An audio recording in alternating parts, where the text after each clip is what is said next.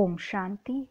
आज है 28 आठ 2021 मीठे बाबा के महावाक्य सुनेंगे। मुरली का सार है मीठे बच्चे। सुनी सुनाई बातों पर विश्वास नहीं करो। अगर कोई उल्टी सुलटी बातें सुनाए तो एक कान से सुन दूसरे से निकाल दो। मीठे बच्चे, सुनी सुनाई बातों पर विश्वास नहीं करो। अगर कोई उल्टी सुलटी बातें सुनाए तो एक कान से सुन, दूसरे से निकाल दो। प्रश्न है, जो बच्चे ज्ञान की खुशी में रहते हैं, उनकी निशानी क्या होगी? उत्तर है, वह पुराने कर्म भोग का हिसाब किताब उस खुशी में मर्ज करते जाएँगे। ज्ञान की खुशी में दुख, दर्द गम की दुनिया ही भूल जाती है। बुद्धि में रहता, अब तो हम खुशी की दुनिया में जा रहे हैं। रावण ने श्रापित कर दुखी किया। अब बाप आए हैं उस दुख की, गम की दुनिया से निकाल, खुशी की दुनिया में ले जाने।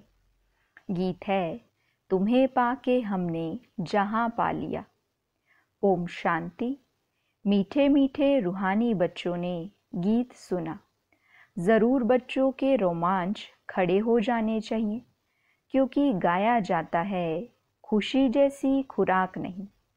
अभी तुम सभी रूहानी बच्चों को बेहद का बाप मिला है। बेहद का बाप तो एक ही होता है। और बच्चे जानते हैं, जब और बच्चे बनेंगे तो उन्हों के भी रोमांच खड़े होंगे। तुम जानते हो हमारा राज्य था, फिर राज्य गवाया। अब फिर राज्य लेते हैं। भारतवासियों के लिए यह खुशखबरी है ना? परंतु जबकि अच्छी रीति सुने और समझें, बरोबर यह खुशी की बात है ना? कल्प कल्प बाप आते हैं। बाप का जन्म भी यहाँ गाया जाता है। त्योहार भी जो हैं, सब इस समय के हैं। बाप ने आकर तुमको बहुत सहज रास्ता बताया है। मनुष्यों को तो अनेक प्रकार के गम हैं। यहाँ इस ज्ञान की खुशी में वह गम, दुख आदि सब मर्ज हो जाते हैं। जैसे कोई बीमार ठीक होने पर आता है तो सबको खुशी होती है। बीमारी आदि दुख की बातें जैसे भूल जाती हैं। पियर घर, ससुर घर मित्र, संबंधी आदि सब खुशी में आ जाते हैं। तुम बच्चे जानते हो, हम सब विश्व के मालिक थे। फिर रावण ने श्राप दिया है। यह है गम की, दुख की दुनिया। फिर कल होगी खुशी की दुनिया। खुशी की दुनिया याद रहने से गम, दुख आदि सब भूल जाने चाहिए। यह है तमो प्रधान दुनिया। भिन्न भिन्न प्रकार का कर्म भोग है। अबलाओं पर भी कितने अत्याचार होते हैं। अनेक प्रकार के विघ्न आते हैं। यह विघ्नों के कर्म भोग के दिन बाकी थोड़ा समय है। बाप धीरज देते हैं, बाकी थोड़े रोज हैं। कल्प पहले भी हुआ था। कर्म भोग का हिसाब किताब चुकतू होना है। खुशी में यह सब मर्ज करते जाओ। बस बाप और वर्षे को याद करते रहो। उल्टा सुल्टा कोई भी काम मत करो। नहीं तो और ही दंड पड़ जाता है। पद भ्रष्ट हो जाता है। बच्चों का काम है एक बाप को याद करना। बाप कहते हैं, मुझे याद करो तो तुम्हारे विक्रम विनाश हो जाएँगे। हिसाब किताब चुकतू हो जाएगा। बाकी थोड़ा समय है। हिसाब किताब चुकतू करते जाओ, क्योंकि तुम हो अंधों की लाठी। तुम भी याद करो, दूसरों को भी रास्ता बताओ। विघ्न तो बहुत पड़ेंगे। जितना हो सके सबको यह समझाते रहो कि बाप को याद करो। अक्षर भी नामी ग्रामी हैं। मन मना भव, अर्थात, हे आत्माएँ, माँ में कम याद करो तो तुम्हारे पास्ट के विक्रम भस्म होंगे। इसमें मूंझने की तो बात ही नहीं। सिर्फ़ बाप को याद करो तो तमो प्रधान से सतो प्रधान बन जाएँगे। तुम जानते हो, हमने चौरासी का चक्र लगाया है। चक्र लगाते आए हैं, लगाते रहेंगे। यह है पुरानी दुनिया, पुराना चोला। इनको भूल जाना है। यह है आत्माओं का, बेहद का सन्यास। उन्हों का है हद का सन्यास। घर बार छोड़ जाते हैं। उन्हों का भी ड्रामा में पार्ट है। फिर भी ऐसा ही होगा। सेकंड सेकंड जो पास हुआ, सो ड्रामा, फिर वही ड्रामा रिपीट होगा। शास्त्र सब हैं भक्ति मार्ग के पुस्तक। भक्ति के बाद है ज्ञान। इस सीढ़ी के चित्र पर किसको भी समझाना बहुत सहज है। मुख्य जो चित्र है, वह अपने घर में भी रख सकते हो। त्रिमूर्ति भी बड़ा क्लियर है। ऊपर में शिव भी है। ब्रह्मा, विष्णु, शंकर भी है। सूक्ष्म वतनवासी फिर ऊंचते ऊंच है भगवान। बच्चे भी समझते हैं, जहाँ बाप रहते हैं, वह है हम आत्माओं के रहने का स्थान। जिसको निर्वाण धाम कहो अथवा शांति धाम कहो। बात एक ही है। शांति धाम नाम ठीक है, अथवा निर्वाण धाम अर्थात वाणी से परे धाम। वह शांति धाम ही हो गया। वह शांति धाम फिर है सुख, और शांति संपत्ति धाम। फिर होता है दुख और अशांति धाम। सुख धाम में तो कारून के खजाने होते हैं अथा। आज क्या है कल क्या होगा? आज कलयुग का अंत, कल होगा सतयुग का आदि। रात दिन का फ़र्क है ना? कहते भी हैं, ब्रह्मा और ब्रह्मा मुख वंशावली ब्राह्मणों का दिन और फिर रात। दिन में है देवताएँ, रात में है शूद्र, बीच में हो तुम ब्राह्मण। इस संगम युग का किसी को पता नहीं है। मनुष्य तो बिल्कुल ही घोर अंधियारे में है। तो घोर सोजरे में ले आना तुम बच्चों का फ़र्ज़ है। अभी सामने वही महाभारत लड़ाई है। गाया हुआ भी है, विनाश काले विपरीत बुद्धि विनश्यंती। विनाश काले प्रीत बुद्धि विजयंती। तुम बच्चे जानते हो, बाबा हमको फिर से वही राजाई देते हैं। वह हमारी राजाई कोई छीन ना सके। रावण की प्रवेशता तो होगी द्वापर से। रावण ने हमारी राजाई छीनी है। जिसको दुश्मन ही समझो, क्योंकि दुश्मन का ही एफजी बनाकर जलाते हैं। यह बहुत पुराना दुश्मन है। कहते भी हैं, रावण राज्य, परंतु किसी की बुद्धि में नहीं आता है। तो घोर अंधियारा कहेंगे ना। बेहद का बाप है नॉलेजफुल उनको ज्ञान का दाता, दिव्य चक्षु विधाता कहते हैं। अभी तुम आत्माओं को ज्ञान का तीसरा नेत्र मिला है। आगे तो कुछ नहीं जानते थे। अब सब जान गए हो। बाप ज्ञान का सागर है तो ज़रूर ज्ञान सुनाएँगे ना। ज्ञान सुनाने बगैर सिद्ध कैसे हो? तुम देखते हो, बाप ज्ञान सुनाते हैं जिस ज्ञान से फिर आधा कल्प सदगति होती है, भक्ति को ही आधा कल्प चलना है।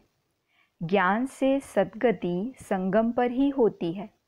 कोई भी बात बच्चों की कब छिप नहीं सकती।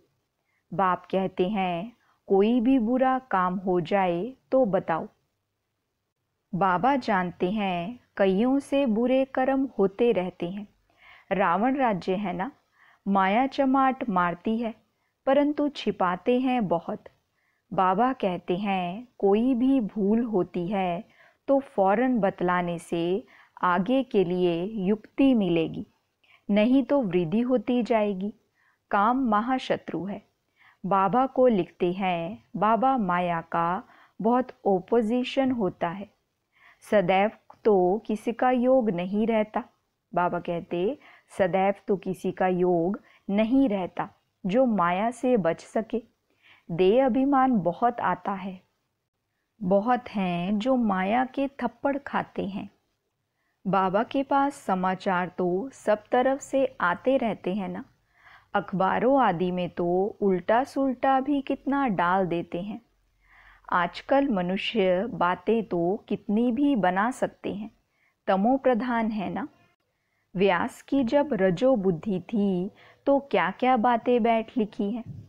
बाप बच्चों को समझाते हैं, सुनी सुनाई बातों पर, कभी भी विश्वास कर बिगड़ो मत। फलाने ने ऐसा कहा, यह किया। माथा ही फिर जाता है। समझते नहीं, तमो प्रधान दुनिया है। माया गिराने की कोशिश करेगी। कोई भी झूठ मूठ बातें सुनाए तो एक कान से सुन, दूसरे से निकाल दो। औरों को भी यही पैगाम देते रहो। बाप कहते हैं, मैं पैगाम ले आता हूँ। अब हे आत्माएँ, श्रीमत पर चलो। हमारा पैगाम सुनो।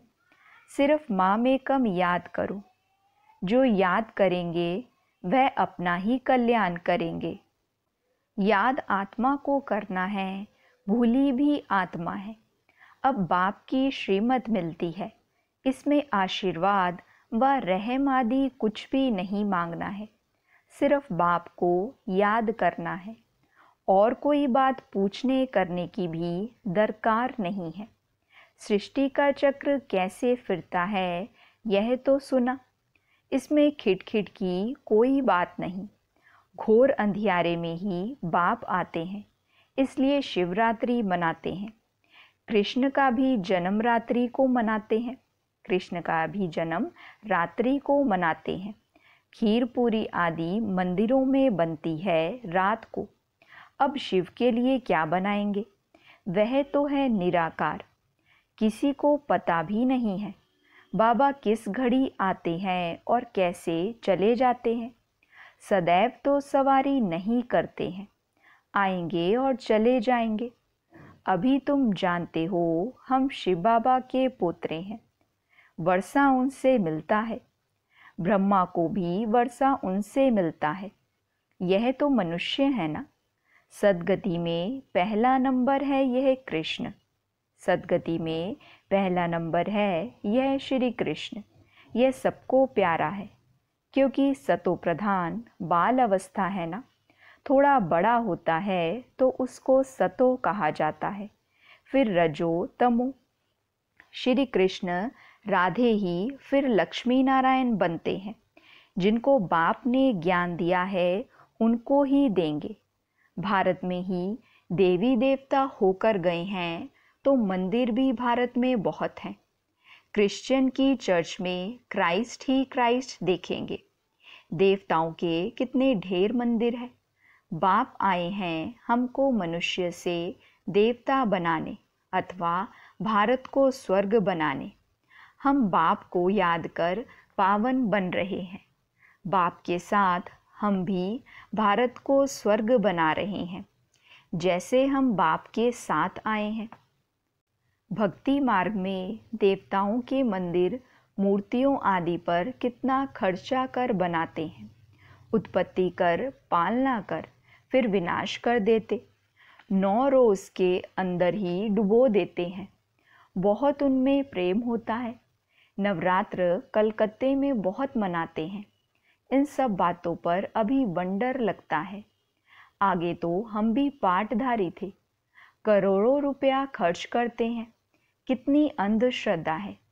रामायण से कितना प्यार होता है। बातें सुनकर आँखों से आँसू बहा देते हैं। यह सब है भक्ति मार्ग। इससे फ़ायदा कुछ नहीं। बाबा अब किसी को कितना समझदार बनाते हैं। बाबा अब हमको कितना समझदार बनाते हैं। तो यह सब सुनकर यहाँ का यहाँ भूल ना जाओ। सब बातें याद करो। पूरा रिफ्रेश होकर जाओ। अपने को आत्मा समझ। देह सहित जो कुछ देखते हो, सब भूल जाओ। यह सब कब्रिस्तान है। दिल्ली में बिरला मंदिर में लिखा हुआ है, भारत परिस्तान था जो धर्मराज ने स्थापन किया था। अभी तुम बच्चे जानते हो, यह दुनिया कब्रिस्तान बननी है। बाप कहते हैं, सब कामचिता पर बैठ, एकदम जल मरे हैं। क्रोध चिता नहीं कही जाती काम चिता कहा जाता है। उसमें भी हल्का नशा सैमी नशा भी होता है। बच्चों को ही बाप बैठकर समझाते हैं। घर में अगर कोई कपूत बच्चा होगा तो कहेंगे ना, यह क्या, बाप की आबरू गवाते हो? बाप की इज़्ज़त जाती है ना?